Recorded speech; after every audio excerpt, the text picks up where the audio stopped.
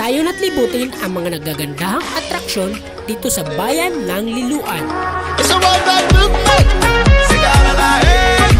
China Paul with the bang bang bang. Let's go. Hey, what's up guys? Ako po si Joseph Pasalo at nandito po tayo ngayon sa napakagandang bayan ng Liluan. Matatagpuan po ito sa probinsya ng Southern Leyte.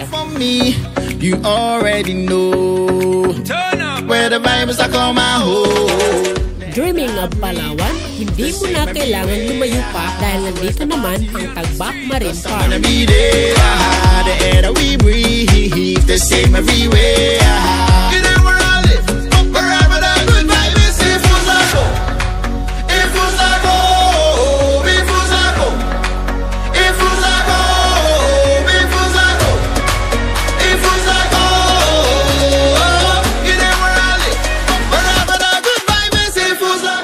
Mo ba ang malaburakay na buhangin? Nandito ang Mulupulok White Beach.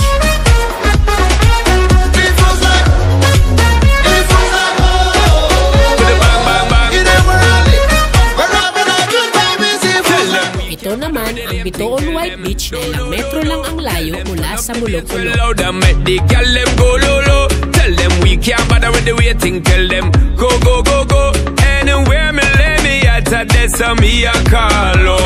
At ang Lokbon Beach naman na nasa kabila lang ng Bitoon You Beach. our life celebrating what people think they should know. I don't know we view this life as a great thing. Just let that that love a glow. And it's step, me step, me step. Good vibe is If Fusako Trip mo ba ang malabatanis na view? Ito ang sagot dyan ng Liluan. Ito ang Fatima Mountain Ridge. If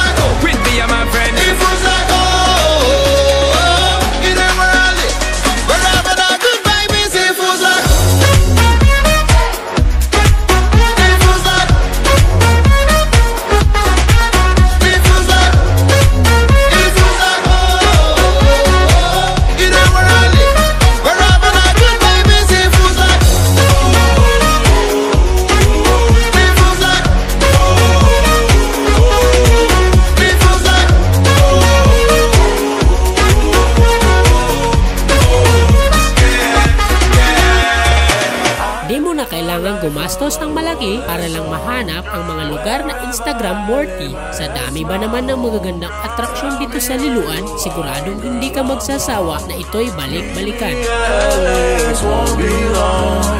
Samahan niyo pa po ako sa susunod ko pang mga vlog. Huwag niyong kalimutang i-like at i-share itong video na to. Follow niyo rin po yung Sef TV sa Facebook. Maraming salamat po.